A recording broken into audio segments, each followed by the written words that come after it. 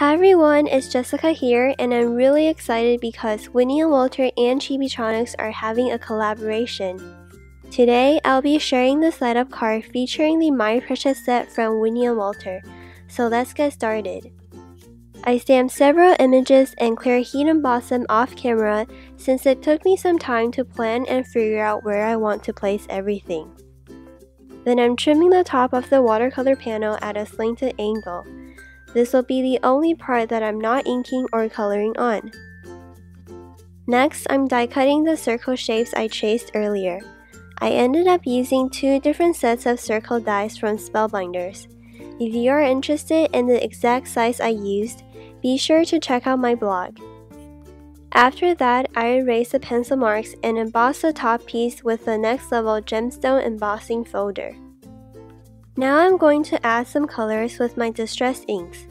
I really wanted a saturated bold background, so it's natural for me to pick rainbow colors.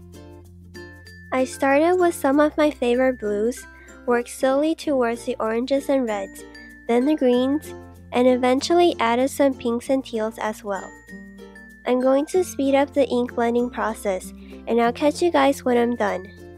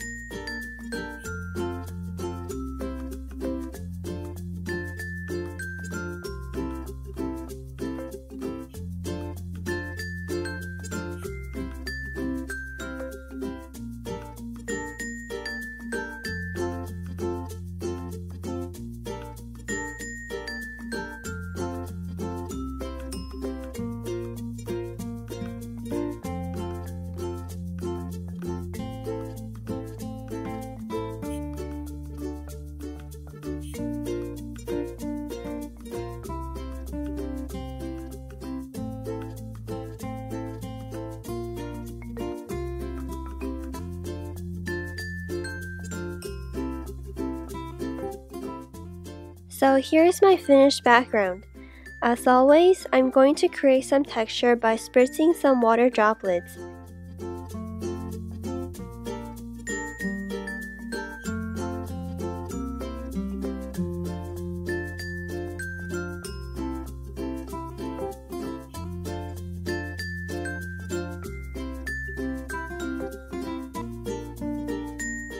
Then we're moving on to watercolor the stamped images. I'm using my Zig Clean Color Real Brush pens and a water brush today for simple coloring. Most of the time, I like to wet the surface first before I drop in colors, but since we're watercoloring very small areas, you can definitely skip this step. I'm also not that concerned with the light source or the technique, just coloring as I go. While you watched me color, I thought I'd share a little story. So this is actually the first Winnie Walter stamp set I bought. I think I got it from Simon Says Stamp, and even though I didn't know Winnie and Walter at the time, I was instantly captivated by the design. So what do I do? I head straight to their shop, and I remember having this major crush on the flawless diamond cutaway. I was like, I have to have it. And this was all before I fell in love with the Evelyn T design stamps and the word cutaways.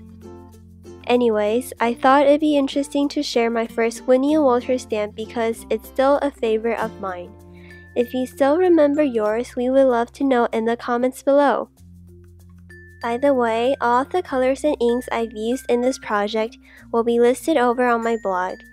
I've also sped up the coloring so you can watch the entire process, and I'll catch you guys when I'm done.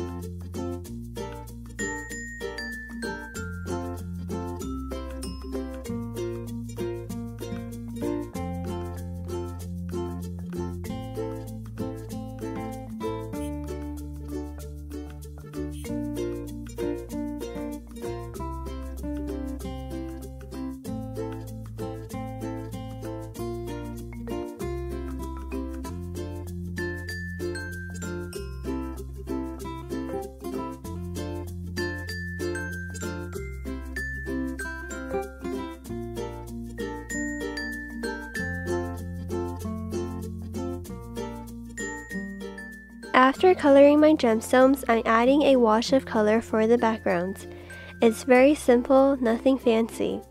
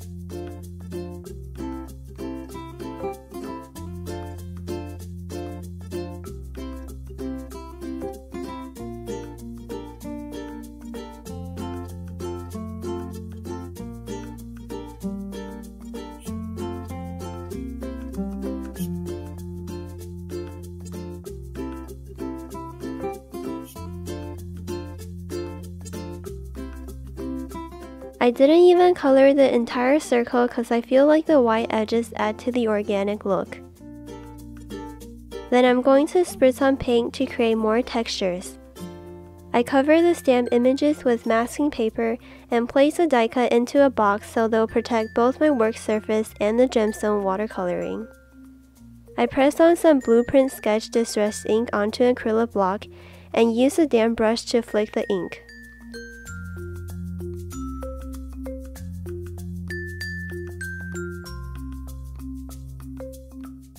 I only added distress ink splatters to the larger three circles. For the diamond one, I used wild honey, and for the hexagon gem on the right, I used lucky clover. I decided to spritz white acrylic paint to all of the circle die cuts as well.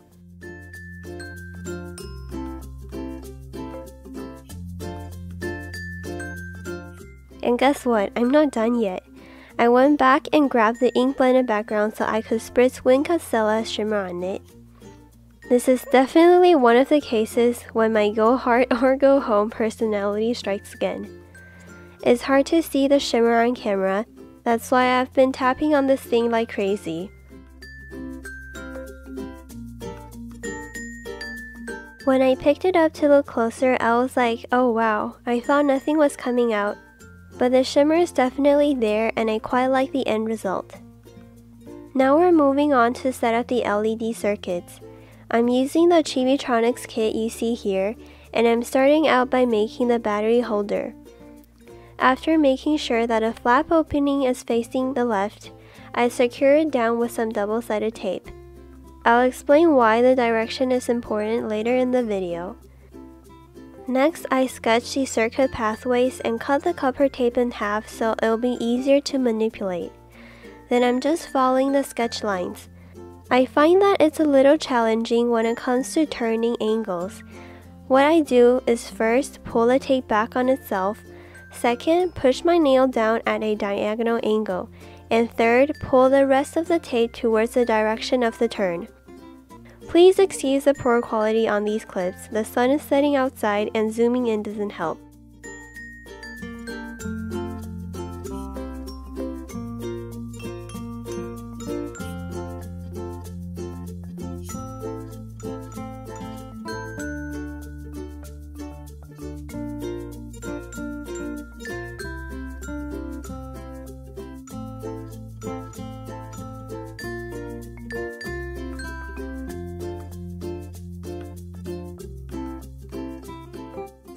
Here's another demonstration with wider painter's tape.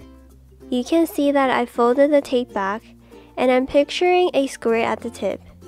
Then using my nail, I'm going to hold down the corner diagonally and when I'm finished you'll see that I get a clean and sharp corner that will still conduct the current well.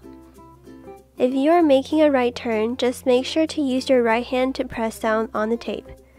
Hopefully you can see the diagonal line that I pre-fold here.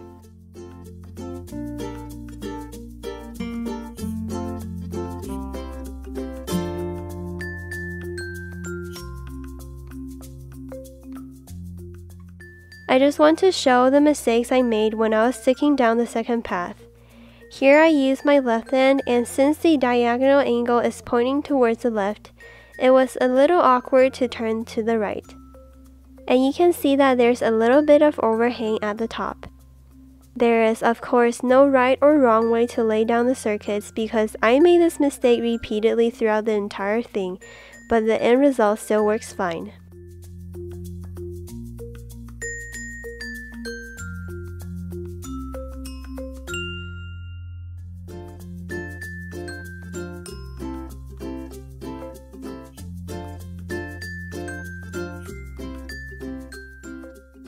Anyways, we're in the home stretch now, and I'm making my way back to the other side of the hanging flap.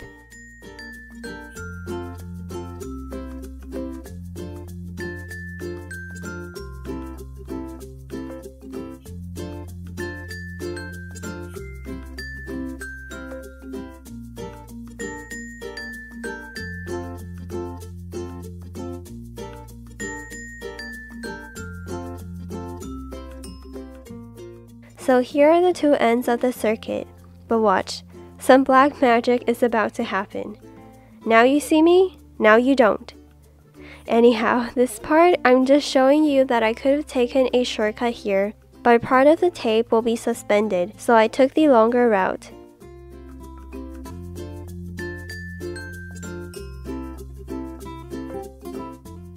Finally, you can smooth out the copper tape Stick on the LED lights and test if they light up.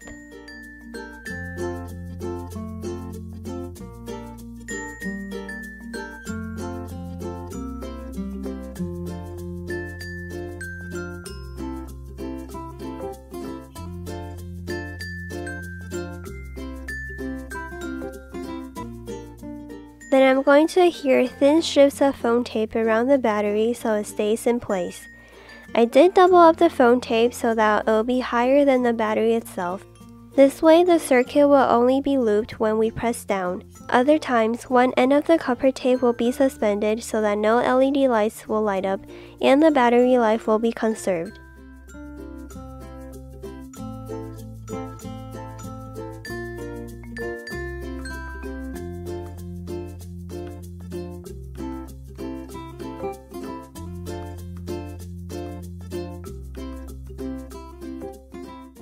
Remember that we left an opening when we were making the battery holder? It's because we can insert a little piece of cardstock that will block the connection between one end of the copper tape and the battery.